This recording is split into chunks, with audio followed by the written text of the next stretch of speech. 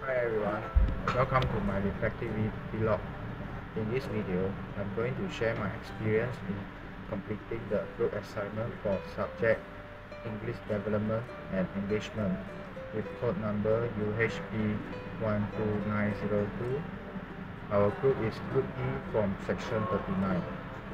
Our group title project for this course is Authenticity of Asam Pedas in different states. By the way, my name is Tan Shiah with battery number AW220239 and I was born in Penang.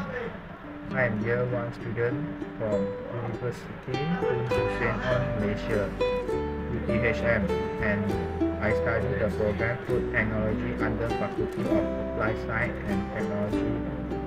Now, I'm going to share my experience.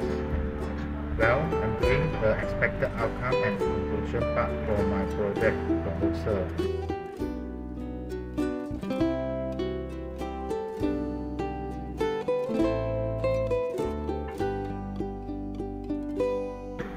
First question is, what have I learned? At first, I'm a totally new when I'm doing the project proposal, especially like English development and which I never attended this course before.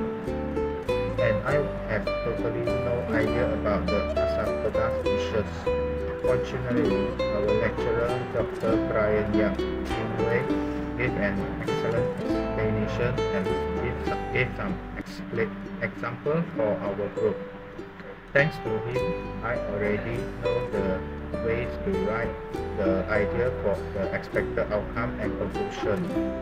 In addition, my group member whose name is Narina also helped me to complete it by checking my grammar.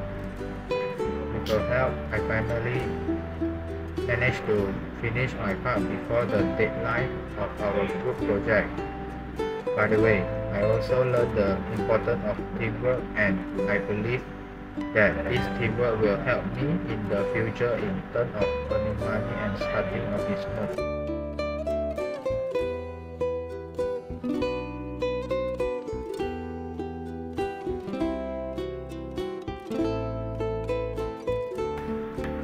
Next, what is the personal development and have you experienced? Well, I believe that making a proposal for a few days would be tiring work since we must take care of our other coursework. So I made a schedule on doing which task first and without a doubt it works well for me and prevent me from overstress. Well, that's my personal development from this group project which is possessing the ability to schedule work before doing it.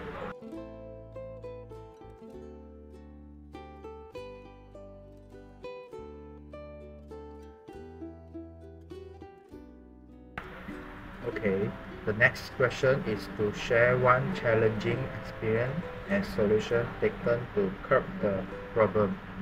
Well, for my case, I think that finding sources about the Asam Pedas dishes is pretty a challenge for me. As I mentioned before, it is totally chaos when it comes to Asam Pedas dishes. So I decided to search for sources and information from the internet. Luckily, I found a lot of information about Asam Pedas well, here comes another problem which is some of the websites need to be paid for through continuous effort, I managed to find a bunch of free websites and the, the information from the website is good enough for me. That's all I want to share with you all and I also want to thank all my group members for making this project proposal complete fast and easily. Thank you.